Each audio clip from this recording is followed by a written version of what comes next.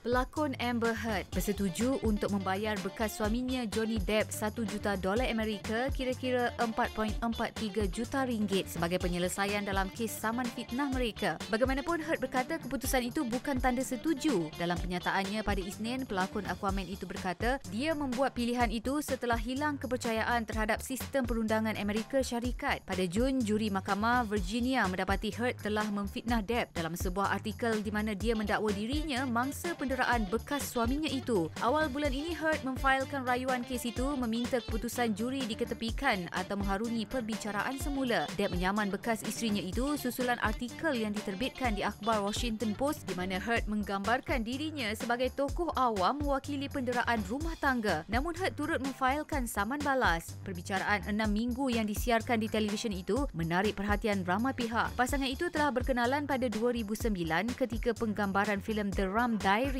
sebelum bertunang pada 2014 dan berkahwin setahun kemudian. Perkahwinan mereka bagaimanapun hanya bertahan selama 15 bulan sebelum bercerai pada 2017.